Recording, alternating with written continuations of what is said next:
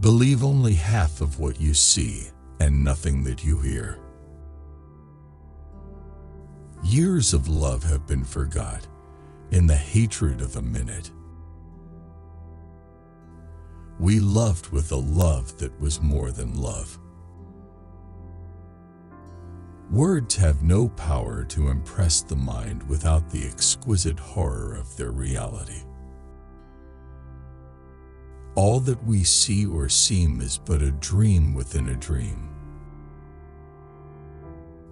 Never to suffer would never to have been blessed. There is no beauty without some strangeness. The death of a beautiful woman is unquestionably the most poetical topic in the world. I became insane with long intervals of horrible sanity. I have great faith in fools. Self-confidence, my friends will call it. A million candles have burned themselves out. Still I read on. For the moon never beams without bringing me dreams.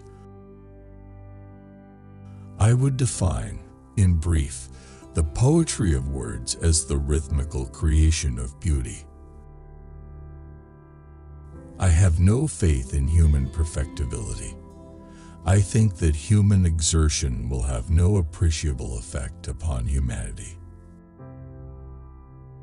Men have called me mad, but the question is not yet settled, whether madness is or is not the loftiest intelligence.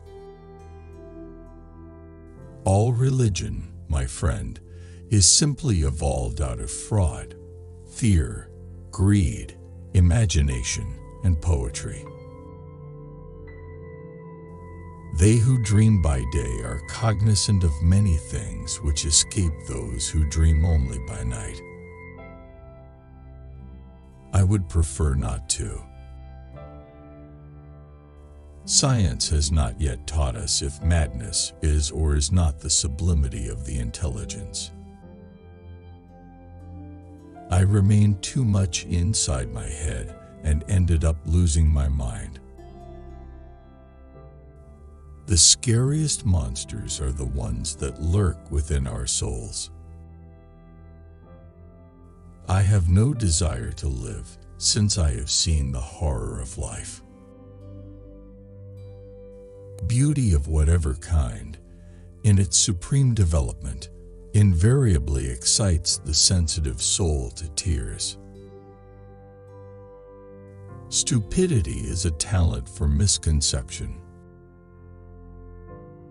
The death of a beautiful woman is, unquestionably, the most poetical topic in the world. Leave my loneliness unbroken